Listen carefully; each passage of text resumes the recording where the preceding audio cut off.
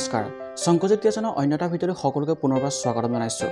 বন্ধুসকল অসমৰ জনপ্ৰিয় কণ্ঠশিল্পী ভিগু কাশ্যপৰ লগত যিটো ঘটনা সংঘটিত হৈছে সেই ঘটনাটো শুনিলে আপোনাৰ চকুৰ কপালত উঠিব। সঁচাকৈ এটাৰ বৰ দুখৰ খবৰ। কিয়নো অসমত এতিয়াও এনে প্ৰকৃতিৰ মানুহ আছে যি আপুনি কেতিয়াও কাহানিও কল্পনা কৰিব নোৱাৰিব। বন্ধুসকল সৰভোগৰ কৰ্মাগাঁৱত যিটো ঘটনা সংঘটিত হৈ গ'ল সেই ঘটনাটো আপোনাৰ শুনাৰ প্ৰয়োজন আছে। যোৱা লক্ষী পূজাৰ উপলক্ষে ভিউ কাশ্যপে চৌবিছ অক্টোবৰ অৰ্থাৎ যোৱাকালি কৰ্মাগাঁৱৰ সৰভোগত এটা অনুষ্ঠানত গান গাবলৈ গৈছিল।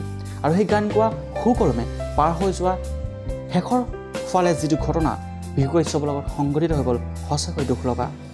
তেখেতৰ গাড়ীখন যথেষ্টখিনি কেইজনমান ল'ৰাই ভাঙি চুৰমাৰ কৰিলে। যথেষ্টখিনি গাড়ীখনক অনিষ্ট কৰিলে।